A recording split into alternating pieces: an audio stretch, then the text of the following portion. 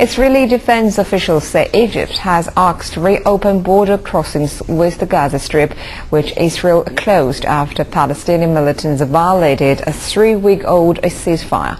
Israel has agreed, which appears to be an attempt to prod forward the ceasefire designed in part to ease Israel's crushing blockade of the coastal strip. Yang Yan has more. Passages were expected to be opened around midday on Tuesday. In all, 12 rockets and mortars have been fired from Gaza since the period of calm began. The latest mortar shell fired on Monday. None has caused any serious casualties.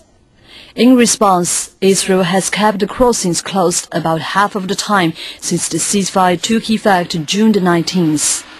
The closures had led to widespread shortages of fuel, electricity and basic goods in Gaza.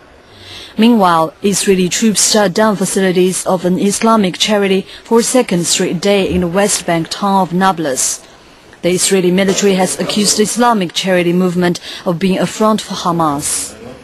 There was no immediate comment from the charity. Israel has intensified its crackdown on Hamas in the West Bank, targeting charities, money changers, media and schools with suspected ties to militants. Elsewhere in the West Bank, the Israeli military lifted a two-day curfew that confined residents of a Palestinian village to their homes and barred movement in and out of the community. Yang Yan, CCTV.